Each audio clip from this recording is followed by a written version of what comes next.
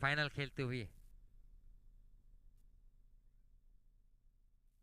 उड़ाया। मिडन के ऊपर से